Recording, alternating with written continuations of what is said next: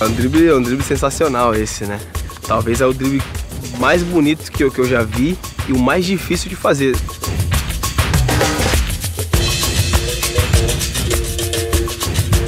O mais importante assim quando você tá você e o zagueiro nesse olho no olho e tal, é, é você fazer o movimento com mais rapidez possível, né? Porque o zagueiro nunca espera o que tu vai fazer, ele não sabe. Meio que uma mágica, você tira da cartola, né? Pum!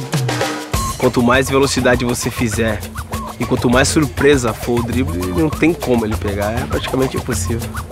Quando eu vou fazer esse drible, eu costumo passar o pé esquerdo por cima da bola primeiro, dar pedalada, aí eu travo e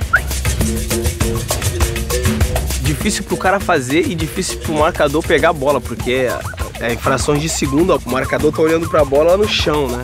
Aí você consegue fazer um movimento rápido e ela sobe. É fantástico, isso é espetacular. Você conseguindo acertar esse drible, com certeza o marcador fica totalmente desmoralizado, né? Já é meio gol. Dar um chapéu desse aí é meio gol.